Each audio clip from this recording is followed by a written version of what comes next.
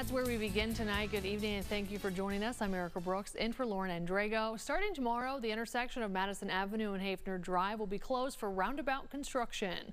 Drivers should expect this intersection to be closed until late August or early September, weather dependent. Madison Avenue traffic will be detoured via Minnesota Highway 22, Bassett Drive and Carver Road. Businesses on Haefner Drive north of Madison Avenue will be accessible from Adams Street. Southern businesses will be accessible from Bassett Drive via temporary access route behind the Mankato Heights Plaza Strip Mall. These routes will be designated with signage on Highway 22, Adams Street, and Bassett Drive.